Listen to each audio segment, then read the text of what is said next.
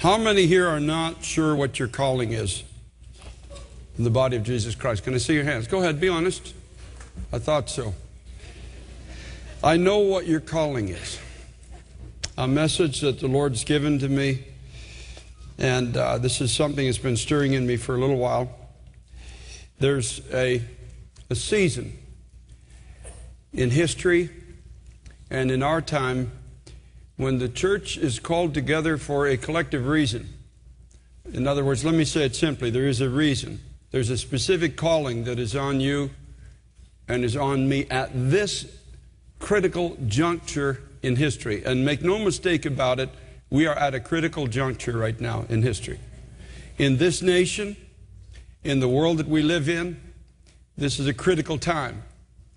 And it's a time that God is calling His church for a specific purpose. We're going to read about it and talk about it a bit. If, in Ezekiel chapter 22, please, if you go there. Isaiah, Jeremiah, Lamentations, Ezekiel. Now, Father, I thank you for the anointing of your Holy Spirit. I thank you for strength. I thank you, Almighty God, that you will speak very deeply into each of our hearts. We will understand something when this is finished, and not just understand it, but have the power to put it into practice. Give us faith, Lord. Take us way, way beyond where we've been.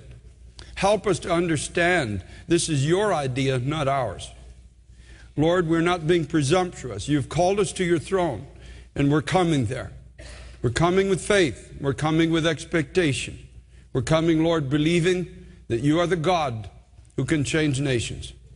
Lord, we thank you for this in Jesus' mighty name. Before I begin, let me just say for those who've been praying for us while we were in Haiti, thank you so very much for your prayers. We had a marvelous, marvelous visitation of God in Haiti. The first time in my entire life and ministry I've ever seen an, an, a complete stadium. Now, when I say complete, it was about, I think, they say six to 8,000 people that night that just left their seats and came forward. And then the next night was even more, so thank God. The president of Haiti was watching on television, apparently very moved, and has called a seven day fast for the whole nation. So thank God. Ezekiel 22, beginning at verse 25. Now this is this is the condition of a nation just prior to the judgment of God coming upon it. There's a conspiracy of her prophets in the midst thereof. Like a roaring lion ravening the prey, they have devoured souls. They've taken the treasure and precious things. They have made her many widows in the midst thereof. Her priests have violated my law and have profaned my holy things. They put no difference between the holy and profane, neither have they showed difference between the unclean and the clean, and have hid their eyes from my Sabbaths, and I am profaned among them. Her princes, that means her, that would be both the secular leaders and those that perhaps uh, have some financial control in the country. Her princes in the midst thereof are like wolves ravening the prey, to shed blood and to destroy souls, to get dishonest gain. And her prophets have daubed them with untempered mortar, seeing vanity or nothing, and divining lies unto them, saying, Thus saith the Lord God, when he has not spoken. The people of the land have used oppression and exercised robbery, and have vexed the poor and needy, yea, they have oppressed the stranger wrongfully. And I sought for a man among them that should make up the hedge and stand in the gap before me for the land, that I should not destroy it. But I found none. Look at the condition of this nation just prior to God judging it. Now, I want you to think of it in, uh, in parallel to perhaps something of what maybe you are seeing today around us. Its religion had become self serving and powerless. A conspiracy calls it of the prophets. The lines are blurred as to what is acceptable to God and what is not. The people are confused. Secular leaders begin to seek their own benefit at the expense of the people they're supposed to help and to serve. Those charged with bringing the people to strength in God start building with materials that have no strength of God in them. He calls it in the scripture untempered mortar. You know, boasting that we're building the kingdom of God as it is, but building it with something that can't withstand. You can't build on it, it has no power to withstand the onslaught of the times that are against it. The people have cast off restraint. They start to take for themselves. They neglect the poor and they lose compassion for the struggling strangers that are in their midst. Many, most, or even all of those that God can still speak to are unable to hear. They're unable to hear something that He is asking them to do. God forbid that that should be you and me in this generation. And so the question comes what could He be asking us to do? Now, before we answer this question, I want to look at something in each of our hearts that could cause us not to hear what Christ is asking us to do in this hour. Number one, it is easier most often to identify with the judgment of God rather than the mercy of God. It's easy. Everybody is blaming somebody today. And if we're not careful, we're going to fall into that category. If you spend more time listening to the news channels than you do reading your Bible, most likely you're falling into that right now. You are just pointing your finger at people, blaming this, blaming that, blaming this politician, blaming that group, caught in a sense of the, this downward spiral eh, of really identifying more with judgment than with mercy. John chapter 9, for example. Jesus and his disciples are walking by a man the Bible says was born blind. And there's a question in the mouths of the disciples. It, the question was, what can we do? Or, how, Lord, we know you have power. Let's change the situation. They said, no. Who did sin? This man or his parents that he was born blind? They're just looking for somebody to blame. They're not looking to change the situation. Whose fault is this? We shouldn't have blind people as it is. This is the nation of Israel. These are the people of God. This is, these are the children of the miraculous. And yet here's a man born blind. And you see, when we judge others, we absolve ourselves of any responsibility for the situation. When we judge other people, we simply can just carry on and walk by. Judgment was going to walk by, but mercy was going to do a miracle. And you and I must be careful that we're not caught in that stream of, in a sense, agreeing that the nation should be, because statistically and historically, it can actually be true. The nation should be judged. It had come to a time, the scripture said, that there was nothing left in the nation. There was, there was nothing that God could point to to restrain his hand from judging the nation. And if, if we are careful, we can simply just start, we can walk by a situation of judgment and miss the miracle. Judgment allows us to express indignation at the obvious failing of others while still feeling good about our own standing. John chapter 8, they brought a woman taken in adultery. A type, I suppose, of our society, a type of even our church age. Uh, a bride that has, in great measure, not lived the way she should in relationship with her husband. And judgment wanted to kill her. Judgment wanted to pronounce death upon her. Judgment wanted want immediate punishment and penalty. But mercy was going to forgive. The spirit of judgment allows us to carry on in religious duty and song, even though we might be completely bankrupt of the heart of God. In Luke chapter 10, there was a man taken by thieves and stripped of his clothing and left for dead. And that Jesus tells us in this parable that there were three types of people that approached this situation. The first two were known religious. One, perhaps, with a reputation of upholding the law, and the other as a reputation of somewhat of being a worshiper of God. But the judgment in the heart as they pass by, you just picture it as, as the man who knows the law and the man who knows how to worship. They're both passing by. They look at this stranger that's lying in the roadway, beaten up and robbed and left for dead, like much of our society, some at least of our society is today. But judgment allows us to pass by unaffected by the plight of people. And because judgment just says, well, they must be deserving of the state that they're in. Look at what they've done. No wonder they're laying down in their vomit on Friday night, half drunk. No wonder the situation is such. And so the, uh, a heart that has really embraced judgment over mercy feels quite confident to come to the house of God like we are today, to lift our voices, to say we love truth, to worship God, but passing by a whole society, a whole generation that has been robbed of the devil himself, beaten up, stripped uh, as it is of the righteousness of Christ, and left for dead in our streets. Judgment was going to hide in its religion, but mercy bends its knee. Mercy gives of itself, and mercy does something. Mercy wants a miracle.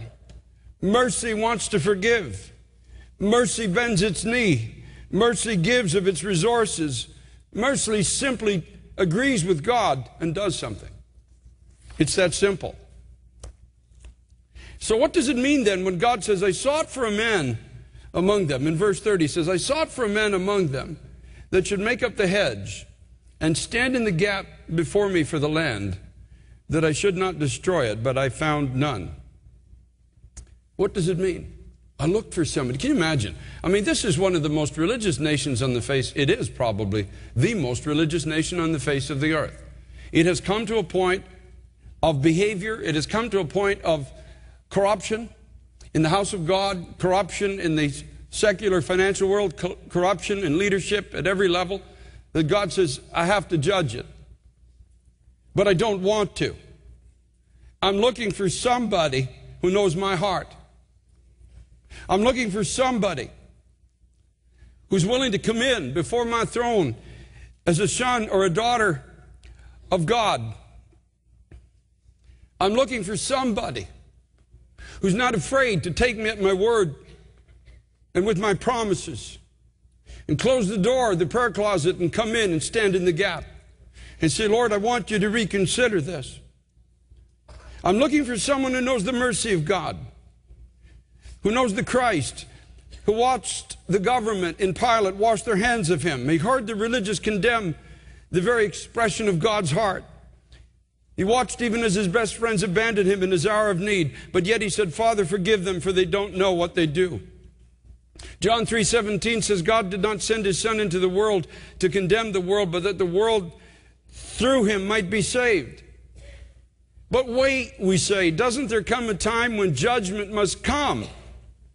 Yes, of course, there's a time when judgment must come. And it had come in our opening text. It had come. It had arrived at the nation of Israel. But God was searching for one person, who, one person who could touch his heart and give him a reason to extend a season of mercy. That's what we're called to do now as the church of Jesus Christ. That's what you're called to do. That's what I'm called to do. I find myself praying in a new way lately. I find myself going into the prayer closet and saying this to God. And it's not presumptuous. I'm praying as a son before the throne of God. Father, your word says that if I ask anything according to your will, that you will do it. Your word tells me that if I speak to a mountain, it will move. And I start just quoting the promises of God and what God has said about himself and what he has promised about his own character. And I stand before the throne of God. And one time I was praying, I said, Lord, it wouldn't be right if eternity recorded that somebody was at your throne asking for New York City and you didn't send a season of mercy. It just simply wouldn't be right. It wouldn't be right that somebody was there because in this passage of scripture you said, I just looked for one man, I looked for one woman, I looked for one person to stand. There was a a gap as it is. The, the, the hedge was gone. The protection was gone. I looked for one person to stand between the sinful condition of society and the wrath of God that eventually must be known towards it. One person that said, just stand there and say, hold on. Just, oh God, just wait. Give us a season. Give us two years in New York City. Give us a season, God where you sweep our streets and sweep our colleges and sweep our high schools, sweep our apartment buildings, sweep the entertainment industry, touch the finance. Give us a season, oh God. God wouldn't have looked for a man if he if it wasn't in his heart to change his mind. He just wanted somebody to walk with him in agreement for that moment. And I do believe, according to what I read here, that one man could have stopped his hand for a season. One man could have kept the enemies a hundred miles outside the borders of the city. One man, one man could have caused the glory of God to come back in the temple again just for a moment. One man, one woman, how much more? A whole church age, how much more? You and I, as the people of God, going into the throne room of Almighty God and saying, Father, in Jesus' name, hold back the hand of judgment. In Jesus' name, for the sake of the widow, for the sake of the children who've been raised in our streets and told that you don't exist. For the sake, oh God, of those that have been blinded by finance and fame. Lord God, we don't want them to be judged. And neither do you, or you wouldn't have gone to a cross. What would that be all about if you wanted them to be judged? One person. You know, in this church, my daughter is the only one who once in a while cancels all my appointments, closes my office door, and comes in, sits down, says, You and I have to talk. Anybody else try that, they might be in trouble. But my daughter, it's my daughter. And I find this, this delight in my heart, this willingness to listen. Sometimes it's about something I'm doing that she says, you know, you shouldn't be doing this. You shouldn't be saying things this way. She came into my office one time when Pastor Teresa started going to Pennsylvania to the college. She sat across me from the desk. She said, You're alone too much. You're going to get weird. She said, I'm going to watch you.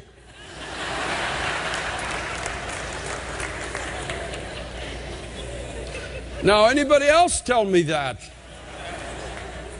But my daughter can tell me that. Do you understand? You and I are sons and daughters of God. We're not just statistics on a list called the church. We're sons and daughters. And in the book of Hebrews, we're told to come boldly to the throne of grace. We don't, we don't come in groveling. We don't come in on our hands and knees. There's some people who think that's holy. I frankly don't. I have an invitation to stand at the throne of God as a son of God.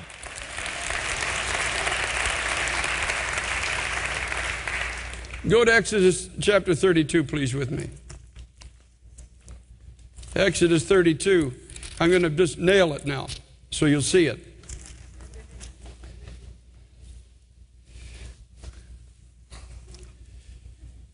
Verse 7. Now, these people have made a mess. They've been brought out of bondage. They've been given new life. They've seen the power of God and they, they make a golden calf of their earrings of all things, and they say, This is, this is God. And they strip off their clothing, and they begin to run naked and rampant and immoral. And it's just an absolute abomination at the bottom of this mountain where God is giving his law. And now the Lord says to Moses, verse 7, Go get thee down. He says, For thy people which thou broughtest out of the land of Egypt have corrupted themselves. They've turned aside quickly out of the way which I commanded them. They've made them a molten calf and have worshipped it, and have sacrificed thereunto, and said, These be thy gods, O Israel, which have brought thee up out of the land of Egypt. Now I want you to think about this nation for a moment. So many came here looking for a better life. Some of you that are here today, us rather, came here because it was, in a sense, a land of opportunity, a land of freedom. Many came here to escape, at least initially, religious persecution and various other things. And it was the, a nation founded uh, on the principles of God. I know historically some of it was not exactly clearly lined up with the Bible, but at least the principles were there. And God blessed it. And God gave intelligence to this nation.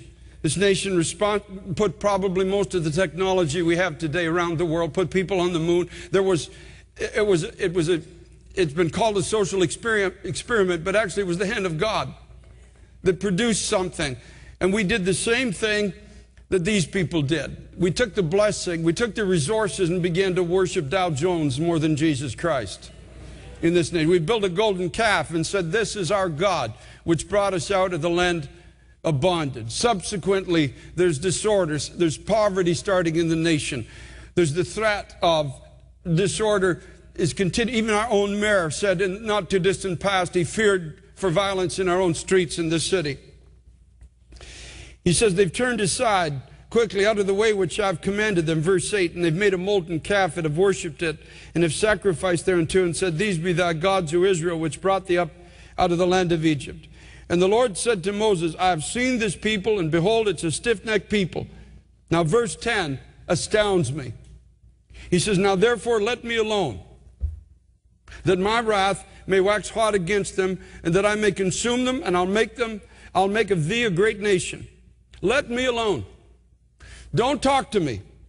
You see, because Moses, you have the power to change my mind. So leave me alone. I'm set in this. This is God speaking to Moses, folks. He says, Now listen, I'm going to judge them. I brought them out. They've made a mess. They've made a golden calf. They've, they've become highly immoral. They, they've corrupted the image of God.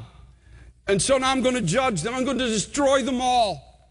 And oh, thank God that Moses didn't have that same, didn't have what can happen to any of us in a society when we see the hand of judgment come to a nation.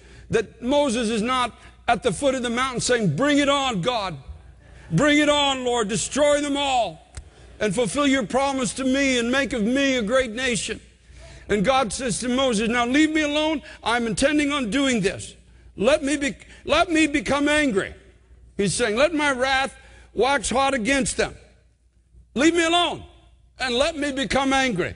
Now, Moses doesn't listen to God. That's an incredible thing. He says, And Moses besought the Lord his God and said, Lord, why does thy wrath wax hot against thy people, which you brought forth out of the land of Egypt with great power and with a mighty hand?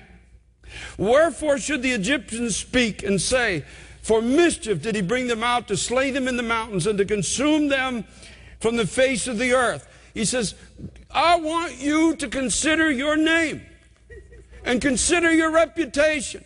I'm finding myself in the prayer closet saying lately, You're the one who died on a cross. You are the father to the fatherless. You are the defender of the widow. You are the God of all mercy and the God of all comfort. And so I stand and I'm willing to not let God alone. I don't know about you. I'm willing to stand in that gap because the Lord, one more time, is seeking for somebody. He says, Turn from this thy fierce wrath and repent. Now, it's not a repentance like we do because when we do wrong, we repent. God wasn't about to do wrong, He's righteous in His deeds. But He's talking about turning. Turn away from this that you're considering against your people. Verse 13 Remember Abraham and Isaac and Israel, thy servants, to whom you swear by yourself, and said to them, I will multiply your seed as the stars of heaven, and all this land that I've spoken of will I give unto your seed, and they shall inherit it forever. I want you, he said, to think about your promises. Have you ever prayed that way? You ever stood in the gap? Have you ever, have you ever stood between life where life is and where potential death is? Have you ever truly become an intercessor? Somebody that knows the heart of God. I know the heart of God. I know the heart of God is mercy. He didn't come into the world, John 3:17, to judge it, but that through his son the world might be saved. That's evident. That's in scripture. I don't have to make that up. That is there. I'm not looking for some kind of a mercy that's not in the text of scripture. I do know judgment has to come. I do know the world will be judged. I do know that societies have been judged in times past, but I'm also aware there has been a Nineveh. I'm also aware the Assyrians were violent, vicious, godless people. And Jonah didn't want to go to them because he knew this about God. He knew that God was merciful. He wanted the Assyrians annihilated. He didn't want them to be any mercy. He wanted them to be, to be cast down, to stay blind, to be run over by the thief himself. He, he didn't want to bend his knee. He didn't want to be part of the help. He didn't want to be part of the solution. So he took a trip and he went in the opposite direction. And finally, when God got a hold of him, he walked that three day journey through the city. And ironically, just as what has just happened in Haiti, the, the, the, the king of the city called for a fast, called for repentance in the sight of a holy God. And God forgave the Assyrians for an entire, they were eventually judged, but for an entire generation they were forgiven and knew the mercy and had access to the blessing and the forgiveness of God. That's just who God is. Jonah sat on a mountainside all in a knot about some plant that had died around him unable to see the miracle of tens of thousands of people having been forgiven and, and found the mercy of God. He's all concerned about himself, that, he, that he, the inconvenience, the trouble he's gone through. And he says to him, he says, Lord, I knew that's what you were going to do. And didn't we talk about that in the first place before I even came? I knew you'd be merciful if these people repented. That's why I didn't want to come. See, the spirit of judgment was on him, not mercy. But I want to remind you in the scripture that mercy triumphs over judgment. Mercy triumphs. Judgment must come. We may know a day in our society where there is uh, judgment that perhaps is deeper than anything we've ever anticipated. But mercy, mercy triumphs. I may, I may die in whatever judgment we have to go through as a nation. But knowing Jesus Christ, mercy has triumphed over that judgment because, folks, it's not about time. It's about eternity in the kingdom of God. It's about where I end up when I die. It's, a, it's about that season of mercy that triumphs over whatever judgment has to come. The Lord says, I look for somebody to convince me, for I don't want to destroy that which I love. I look for somebody. See, I titled this message, I Know What Your Calling Is. I know what my calling is. There's, we've, we've come to a collective time in America where we are called as a body to the throne of God to intercede like we never have in our lifetime, to want to see the mercy of God. That we don't find ourselves out in the streets railing against anybody, but pleading for everybody pleading for mercy, forgiveness, for that which Calvary truly represents, not found with the spirit of this age upon us. Which is why I believe, that's why I believe in Ezekiel. He said, I sought for a man, I couldn't find one because almost everybody that went to my house wanted judgment. There's hardly anybody left that wanted mercy. Oh, God, send mercy. God, be merciful to the people on Wall Street. Lord, be merciful to the actors who don't know where they're headed for. God Almighty, be merciful to our kids in the street that we have raised to believe there is no God. Be merciful, O God, to the, the angry. Be merciful to the unthankful. Be merciful, O God, to the unholy. Lord Jesus Christ, be merciful. My heart's cry is that when I go into the prayer closet that the Lord has to say, no, no, not you again. Didn't I tell you to leave me alone? and I come in again, it's your son. I've closed the door and I've canceled all of your appointments at the moment. You and I have to talk. I'm here to talk about New York City. I'm here because you planted a church in the middle of Times Square and you have other good churches in the city with good Christian people. I'm asking you, Lord, to breathe on us that we may come to your throne, that we may have your heart. God Almighty, that our prayers might be filled with faith, that we not be found before your throne confessing the circumstance and whining and pleading and asking for judgment like everybody else around us. But oh God, we'd be found knowing your heart, knowing why you went to a cross, knowing your character, knowing who you are, pleading, oh God, for your good name in our generation. How is it possible that, that 2,000 people from this church could go to the throne of God asking for mercy and God not send it? I don't think it is possible. I believe if we go there as sons and daughters of God and stand in that gap and say, Lord, hold back the day. If it's only a year, if it's only two years, if it's only five years, it does. But oh, Jesus, we're asking you, Lord, to occupy New York City. We're asking you, God, to fill our streets and our parks and our schools and our colleges. We're asking you, Jesus, to come to every church, every ministry, every name, every denomination. Fill every house of God. Bring the people in from around the city and let there be a great turning to you in our generation. Oh God, we're asking for mercy in this time. I know what my calling is. My calling is not just to preach sermons in this church once or twice a week, as marvelous as that may be. No, it's far beyond that. The greatest part of my calling is in the prayer closet now. To be able to move the hand of God. For I know what God can do. I've just come from Haiti, folks. I've just seen a miracle. I've watched what God can do.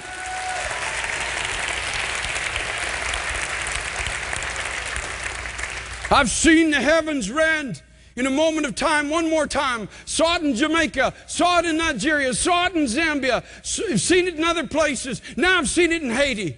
And everybody who was there knows it happened in a moment of time. It happened in one moment. In the middle of preaching, I was wondering, why is everybody shouting? Behind me, people were shouting. It was a very different kind of a shout. And I was thinking, it was very distracting. Why don't, what are they doing? And suddenly in the stadium, people began rising to their feet, and I didn't even realize it. But God Himself had rent the heavens, and suddenly that, that oppression was lifting, and suddenly the gateway was open. Suddenly, people were free to come to Christ.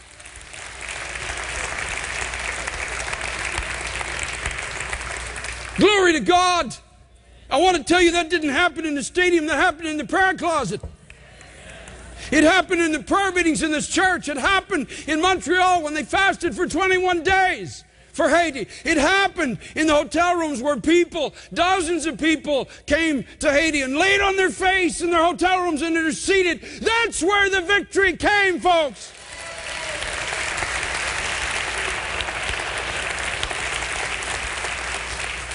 Oh, when we get to heaven, we find out who the real warriors were. There's some of us who get to stand in the public, but the real warriors quite often are not seen.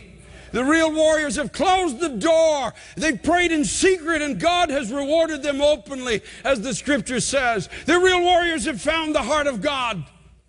The real warriors understand why there was a cross, why God became a man, why God walked this earth, why God let us spit on him and kick him and beat him and mock him and reject him and went to a cross. The real warriors understand the very essence of God is love.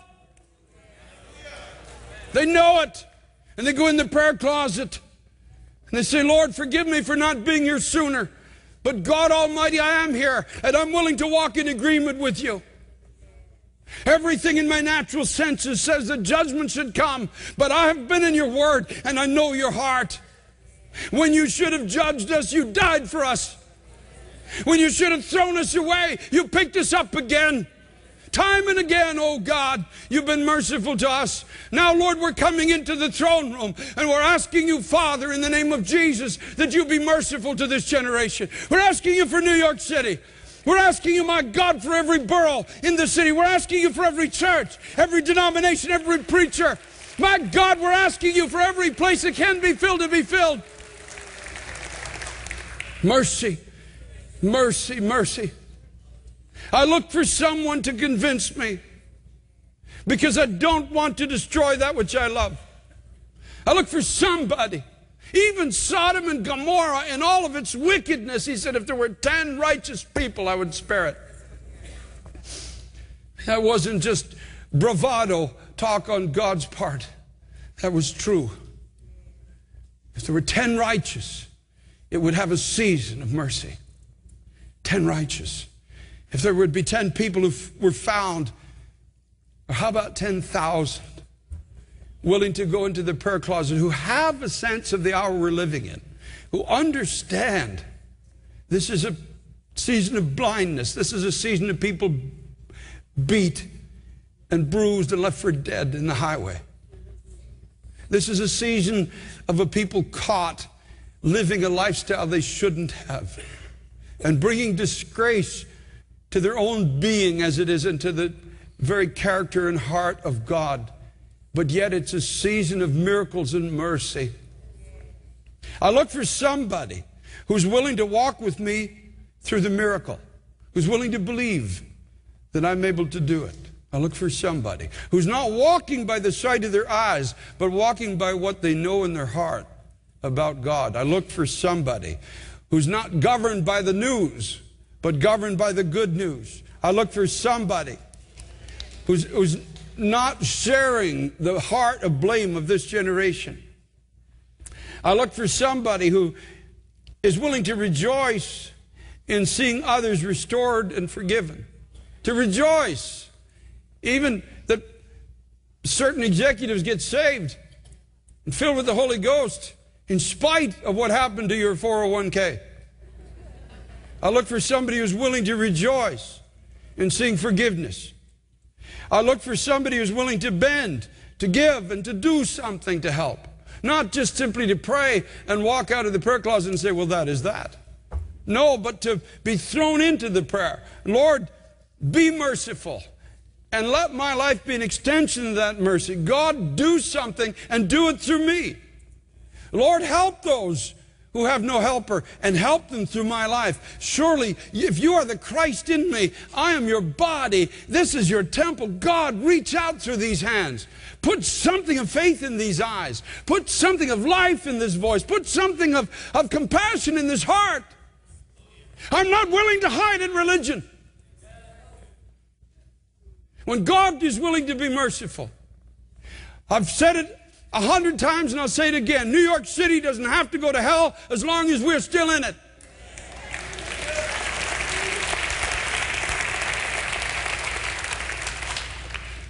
Now let me alone. Hallelujah. I love those words.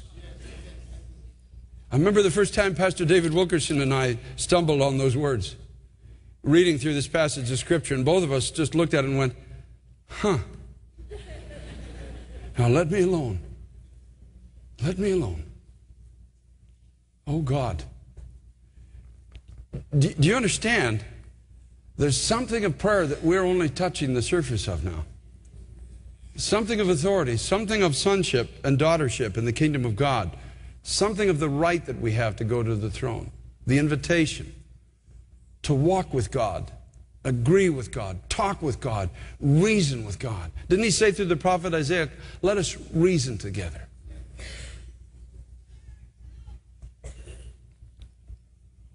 I know what your calling is. I know what mine is. I don't know how long we have, but I know what my calling is. Praise be to God. I want to give an altar call this afternoon for those are simply willing to walk and, with God and see the miracle. To rejoice in seeing others restored and forgiven, and willing to bend, give, and do something to help. It's that simple. To go into the prayer closet with a brand new authority, an authority you've never had before, you've never known, a sonship authority, an invitation. This is your Father. You can walk in and you can talk to him. Not offended, even if you're wrong. He's not offended, as long as you're sincere. You come in and say, Oh God, I'm asking you to spare these people. I'm asking you, Lord, to honor your name and glorify your own character. I'm asking you to be everything you say you are. And to come into that prayer closet and to put ourselves in our prayers and to believe that in our generation, God can do a miracle. May it never be written. I looked in New York City to find a man and could not find one. May it never be said, God forbid, in our generation, that it not be said that God couldn't find somebody to walk in agreement with him. Hallelujah. This is a high calling. It's an incredible calling. It will take your prayer life to a place you've never dreamt it was going to go will give you a spiritual authority that you've never had in your entire life. But if you're willing, that's all, if you're just willing to be part of that company that stands in the gap for this city and for this generation, it's not a program, folks, it's something in your own heart. It's something you read in the Word of God, it's something you take into the prayer closet, and you live in the expectancy of mercy. If that's you today, as we stand. We're going to worship just for a moment. And I'm going to ask you to meet me here at the front of the sanctuary, and we're going to pray together. And we really are going to pray together today. As we stand, please, if you make your way here, and we'll spend a moment in prayer. In the balcony, you could either exit as we all stand up, please. The education annex will wait for you if you make your way down. Thank God we're not going to let this city die. Hallelujah. Thank you, Jesus.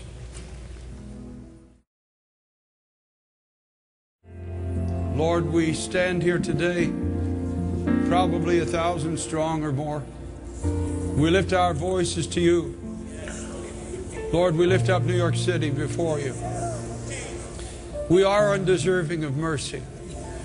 Lord, we have behaved irresponsibly with the blessings that you've given us as a people. We've raised our children to believe that you don't exist. Lord, we've let immorality abound. And oh God, and many are not innocent in this. But Lord, we stand at your throne by invitation. We stand here as the sons and daughters of God. And you told us not to come when we're strong, but you said to find grace to help in our time of need. So, Lord, we first ask you to help us and give us strength, Lord, in our inner man to be the bride of Jesus Christ, to be the church of Jesus Christ. Cleanse us, O oh God, of all filthiness of spirit and mind and practice. Lord, help us to put away that which offends and blinds us to who you are. My God, help us to know your mercy in a new way. Lord, rain upon us mercy. Rain upon us, O oh God. Wash away, Lord, out of our minds the oppression, the images, God, all of the things, Lord, that try to rob us of who we are in Christ and what our calling is in this generation. Lord, help us in these things, Lord. Wash these things away. And Father, give us faith. Help us to read your word and to see who you are and to simply walk in in agreement with what you say about yourself. the God of mercy, the God of all comfort, the God of peace, wonderful counselor, mighty God, everlasting Father, Prince of Peace, the Lamb of God who takes away the sins of the world. That's who we come to. The one who came to the earth and walked among us to save us and to forgive us. Lord, you let your face be beaten that we might be able to stand before your face this day. Oh, Almighty God, let your mercy be known. Let your mercy be shed abroad. My God, we ask you to be merciful to this city. Be merciful to everybody, from the highest to the lowest, oh God. Be merciful, Lord. Oh, Jesus, Jesus, Jesus. Help us to pray like we've never prayed before. Help us to know your heart. Help us to come into the throne. My God, my God, put faith in us, Lord. Faith like we've never known before. Faith that's deeper than anything that we can procure with our own efforts or ambitions. Oh God Almighty, I thank you for my brothers and sisters in Christ. I thank you, Lord, you wouldn't be leading us to do this if you didn't intend on being merciful. You're calling for people who agree with you, Lord. You're calling for people who can dance in our streets when we see mercy, when we see forgiveness, when we see restoration, when we see the goodness of our God. We thank you, Lord, for letting us share your heart at this time. Oh, mighty God, mighty God, mighty God, mighty God. We ask you to use vessels, Lord, that would astound us. We ask you to do this in such a way that nobody could touch the glory. Not even a fool could attempt to touch the glory. My God, do it so sovereignly, so powerfully that you bring your own name to reputation. Have everybody in the world who's looking to occupy Wall Street now as some kind of an illustration. We ask you to occupy New York City, Almighty God. Occupy our churches. Occupy our prayer meetings. Occupy our schools. My God, let the whole world have to stand up and take notice.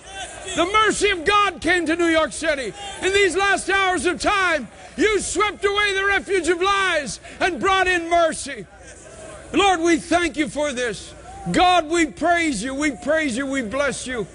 Oh, Jesus, we expect to see this. We expect, oh God, the fulfillment of what you put on our hearts. We expect it, Lord. We expect it, God. We expect it in our streets. We expect it in this city, Lord. Hallelujah. Hallelujah. Lift your voice to the Lord now. You cry out to God. Hallelujah.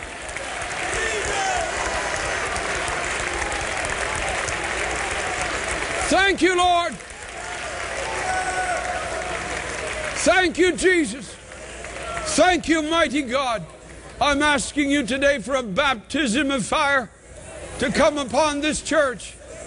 Lord, do something deeper in us than we could ever do in ourselves.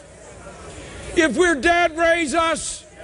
If we're dull, sharpen us. If we're blind, give us sight. We're not willing to die in religion when we have a living Savior within us. My God, you said the people in the last days who know you will be strong and do exploits. That's what your word says. That's what I stand on. That's what I believe in. We're not willing to settle for less. We're not willing to live in mediocrity. We're not willing to go down with the ship. My God, just like Paul stood on the deck of that ship, we have an answer. We know God. We know who Christ is. We thank you for that strength, Lord. Hallelujah, hallelujah, hallelujah. Glory to the Lamb of God. Glory to the Lamb of God. Thank you for strength and power. Hallelujah.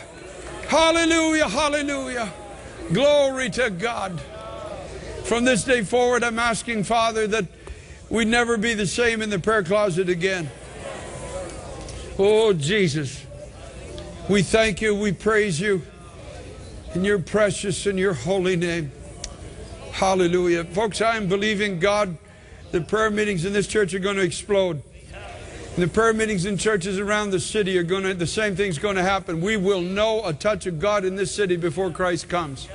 By God's grace, or He wouldn't plant it in our heart if it weren't so. Hallelujah. Now let's give Him a shout of praise in this house.